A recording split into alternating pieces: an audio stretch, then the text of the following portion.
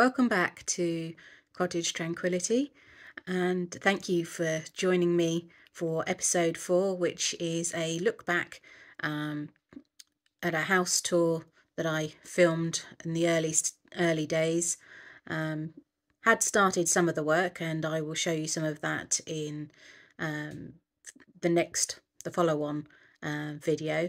But I wanted to make sure that uh, I released this um, particular house tour to give you sort of a full walk around the interior of the cottage. So I hope you enjoy and thank you once again. You can see we've already started work and before I decided that I was going to do a vlog let me take you back and see if we can get the whole house in. There we go.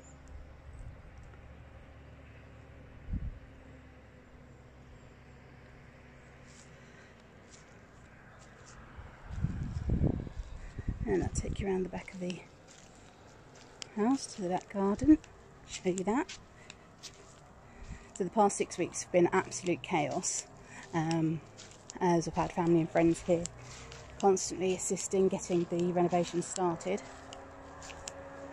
And so I'm just going to take you through the chaos. It's organised chaos, but chaos nonetheless, um, as things get going. So with the family about, we've had paddling pools which are now being dismantled. We have a massive garbage pile over there. We have fresh washing out today, washing the bed linen. And that lovely little noise was this young man. This is Bern. He's one of my two cats, who I'm sure will feature heavily.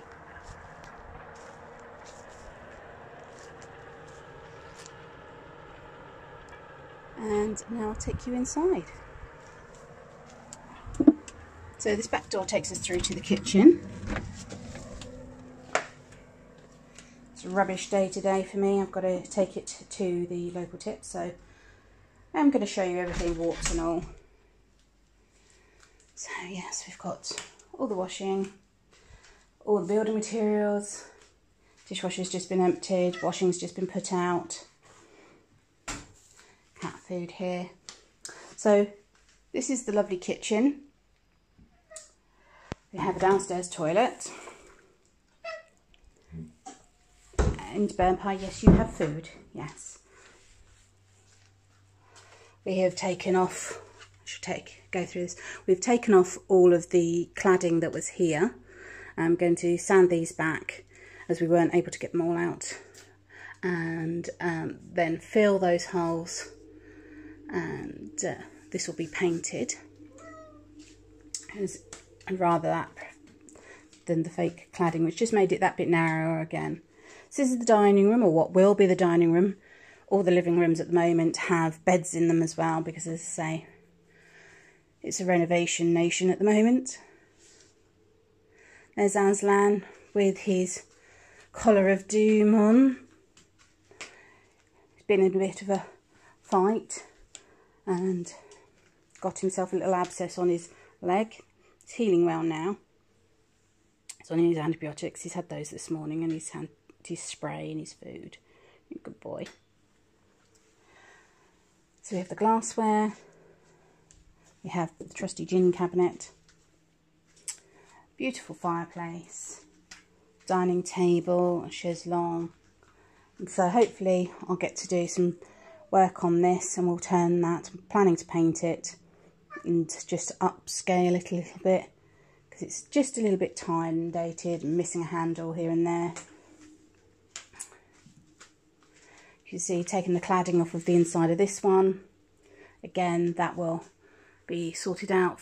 Holes will be filled. We did have a look to see if there were anything interesting beneath the plaster work. Wanted to see what we have.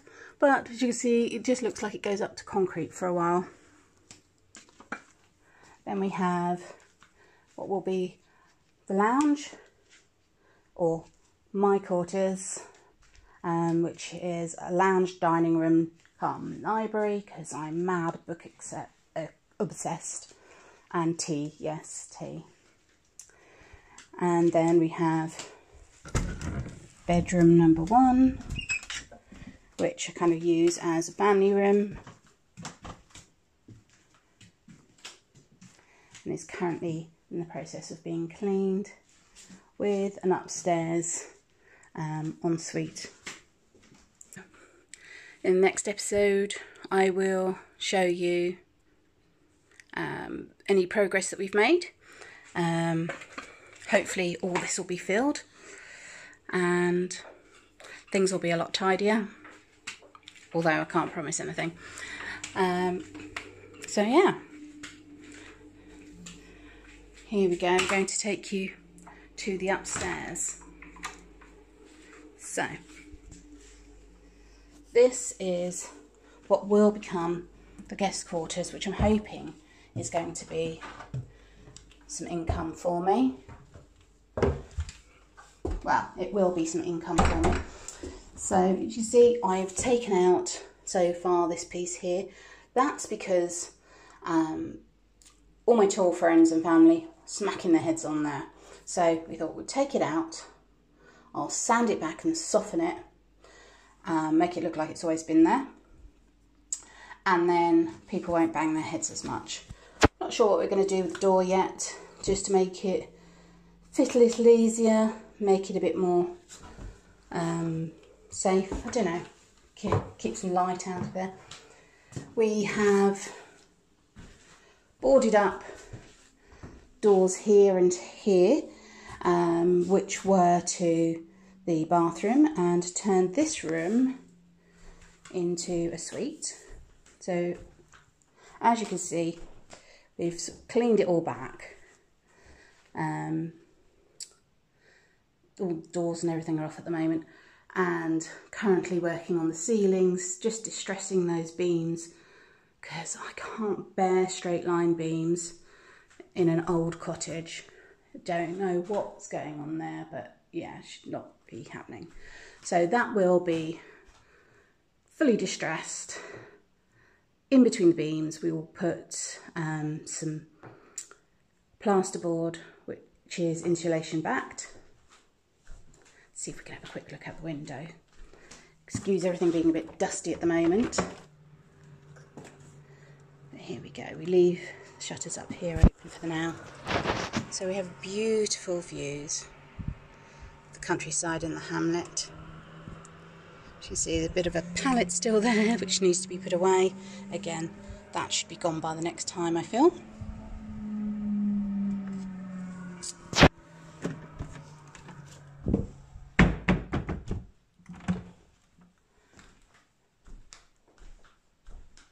And this just takes us through. This is what my um, friends and family have been helping doing. So we've cut through here, which was a wardrobe, and we've put in this atelier, which it means workshop um, sliding door.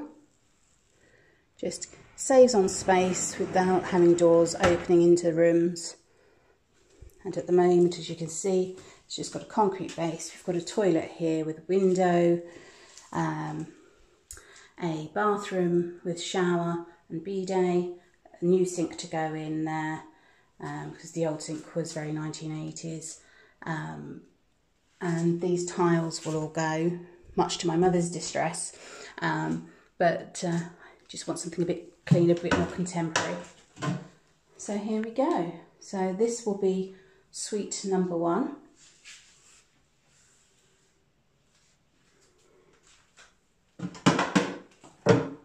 Like quirky, so not so bothered about all the steps up and down because that's what this house is like. It's got steps everywhere. Then we go up into bedroom two, which is rather less done. Um, we've been removing radiators here and there. Um, we're going to put in, you might be able to see here, just the outline of what's going to be an ensuite. Um, there's going to be a shower cabin, toilet, bidet, and sink, and then a towel rail. So, and again, another um, sliding door here. So that's what that is there. Um, so we need to build that. But the basics have been done. So we've made sure we've got drainage pipes that go out and we'll be joining those onto the sewerage system um, here on the septic tank and then we've got hot and cold water coming into the room as well. Also in here pulled back what was all boxed in um, which is this beautiful fireplace just like the other room and I just couldn't leave it like that. I love original features so again that's been pulled back by me. I cleaned all of that down. It needs needs another going over and needs the all the stones and everything cleaning, and then I will um, reappoint repoint it. Put my teeth back in. Uh, repoint it and yeah, put some concrete just around the base, plaster around the base, just to seal that and then seal the stones just to give this room a bit more character. It's got this fantastic beam running through it. Fortunately, all the beams have been painted white, so again, going to be attempting to sand those back um, and distress them so that they look in their original state. Um, I do prefer original wood if I can, um, and then just lightly stain it with, you know, oils um, rather than painting or dark stains, but it is what it is. So we'll be treating them for woodworm and we will be staining them. Um, if I can't get all the paint off, then maybe it'll just be like a shabby chic type finish. Again, there's going to be plasterboard put between the beams just to insulate and finish that off. The people that owned this house before did a fantastic job. Um, everything that's been done in here was done to a really good standard, just not necessarily my taste. So yeah, that's that's what we're going to do, and hopefully that will give us a nice another double bedroom or twin bedroom. Haven't quite yet decided. Um, with an ensuite, and then we'll be able to do bed and breakfast. I've had the electrician out to check everything um, and to quote on putting in um, vents for the bathrooms and to put in extra lighting. So there's going to be an extra light here in this hallway because it get, get quite dark.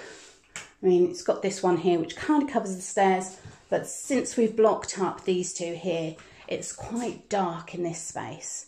So yeah, plan is ceiling rose coming down, some sort of chandelier, hopefully.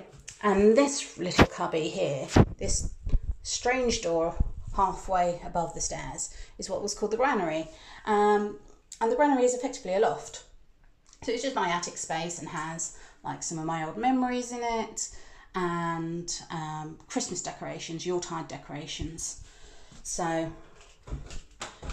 all we've done in there so far. all we've done in there so far is to finish the job that was started and that's to line all of this and then to put back up the insulation that had sagged and fallen down. So not sure you can see that very well, but yeah, that's where we are at the moment. Sure, I can show you that at another point. It's not particularly interesting, but yeah, we'll probably jazz this up somehow, finish this off and put new door furniture on.